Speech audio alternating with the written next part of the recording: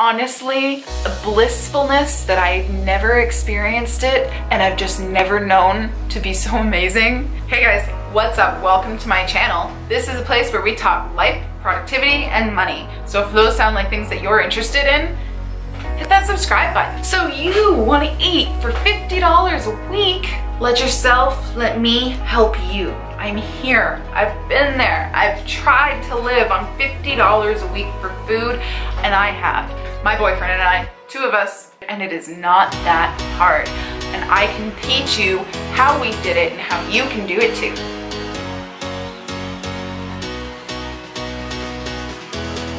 Oh, fifty dollars a week. That's too little. I can't. I'm feeding two of us. There's no way that I can live on fifty dollars a week. Oh yeah, no way, no way. Y'all, I ain't expecting you to spend $50 a week at the grocery store.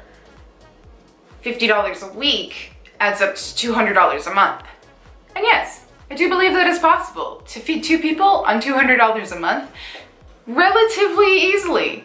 I'm gonna share with you some great grocery saving tips for how to plan meals on a budget, how to grocery shop on a budget, just some great overall money saving tips. When it comes to groceries, a lot of people feel like that's an area that you can't save money. It's just going to be expensive because food is just expensive. And honestly, it's it really doesn't have to be that way. If you grocery shop strategically, you can save yourself a lot of money. I'm just gonna share with you some of the things that I did to make my life so much easier and so much cheaper during those times.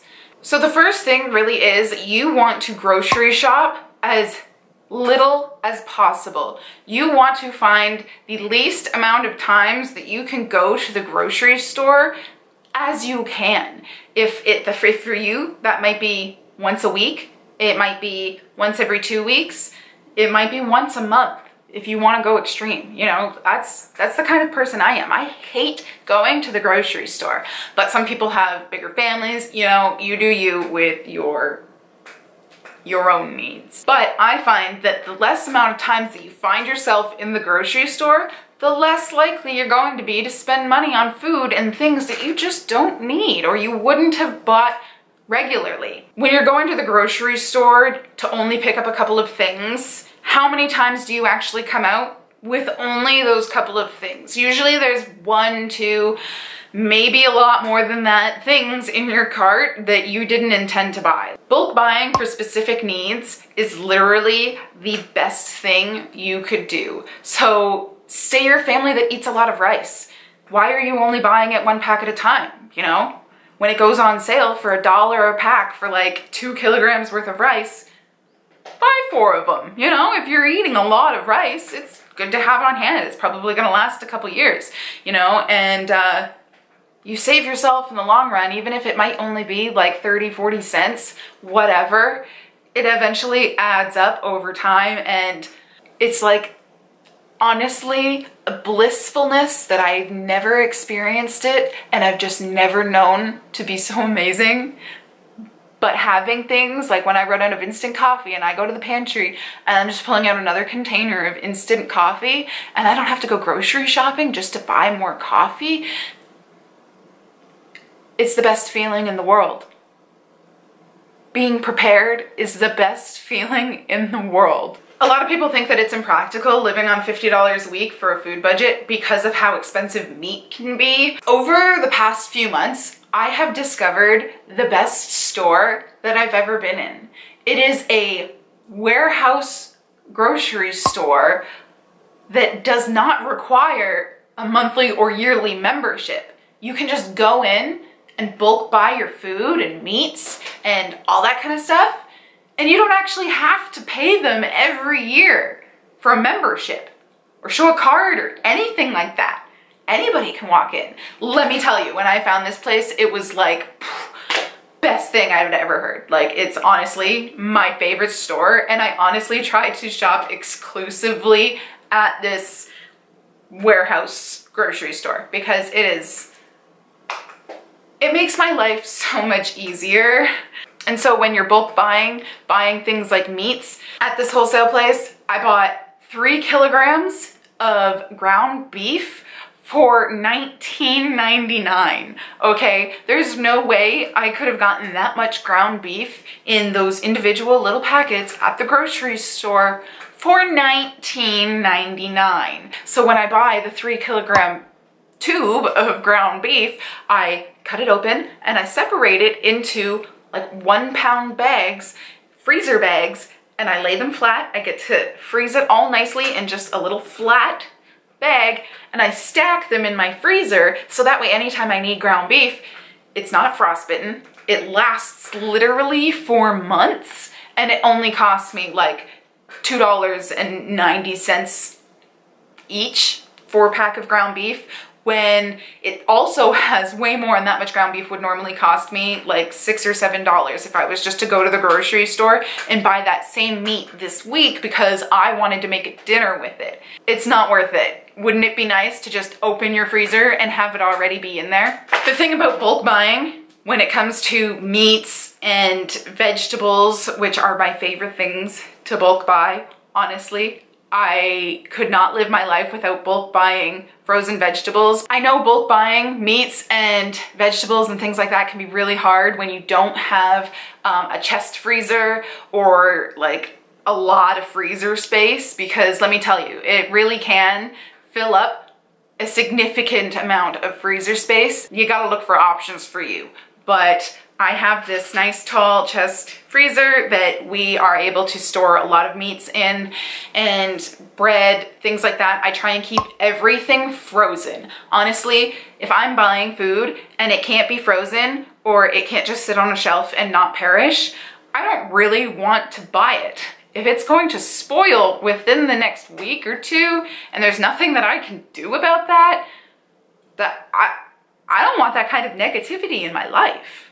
Oh, also, freezing homemade food. Like, say you're making shepherd's pie. If you're making shepherd's pie for tonight, why not just make it double the recipe, make it in a second container, and freeze it. That way you got a homemade shepherd's pie that is cheaper than store-bought, tastes way better than store-bought, and that's another meal for a night.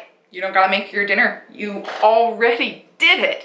And it's such a time saver, such a money saver. It's great. You can freeze all kind of things like shepherd's pie, lasagna, marinara, sauces of all kinds. You know, it's the things that you can freeze is endless. Do some research, it's amazing.